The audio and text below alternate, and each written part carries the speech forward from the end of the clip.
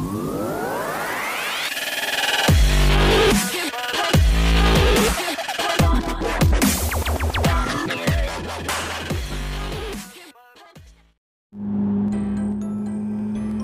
guys, selamat pagi, siang, sore, dan juga selamat malam ya.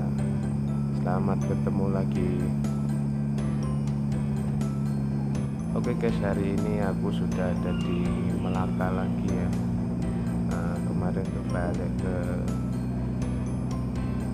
GL itu tiga hari. Sekarang aku sudah di Melaka lagi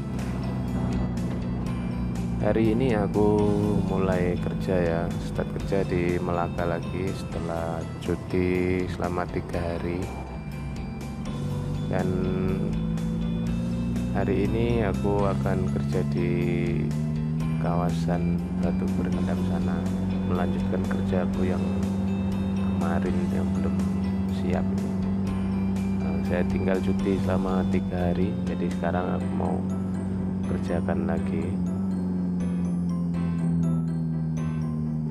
Oh ya untuk teman-teman yang melihat video ini Kalau kalian suka video ini Jangan lupa untuk tinggalkan like Komen-komen positif Dan juga bagi yang belum melanggan Jangan lupa untuk Tekan tombol subscribe juga tentunya ya. Oke guys ya. Sekarang kembali ke topik yang asal Seperti judul yang di atas tadi.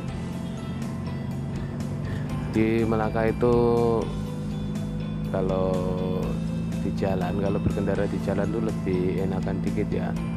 Karena di sini itu di Melaka itu jalannya itu kurang jam jadi kalau bawa kereta atau bawa kendaraan lah itu lebih itu ya lebih nyaman dikit. Dan tidak terlalu sakit kepala karena jalan macet. Karena di sini kurang sekali jalan jam. Nah, ada jam dikit-dikit kalau yang di traffic light aja karena nunggu traffic light berganti hijau seperti yang bisa kalian lihat di video ini ya. Untuk pagi kali ini aja itu jalannya itu cukup sunyi. Jadi dalam berkendara itu lebih nyaman ya lebih rileks kalau jalan yang di Melaka yang jamnya agak kuat itu yang di kawasan Melaka Sentral sana ya karena sana itu ramai sekali jadi jalannya itu kadang kalau terutama waktu pagi itu hari kerja itu memang agak padat trafiknya. Jadi ada jam lah tapi itu pun tak lama. Sekejap saja. Nanti siang dikit udah terurai udah nggak jam lagi nah, cukup beda sekali dengan di Kuala Lumpur ya karena di Kuala Lumpur adalah bandar besar. Jadi jamnya itu lebih itu ya lebih banyak juga lebih parah karena di sana volume kendaraan tuh benar-benar padat sekali dan semua orang tuh mengarahnya ke Kuala Lumpur.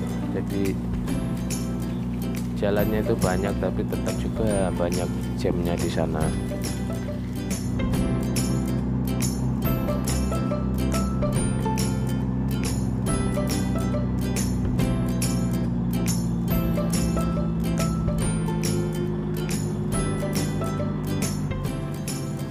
Oke okay guys ya untuk teman-teman semua nah, untuk video kali ini aku akhiri sampai di sini dulu.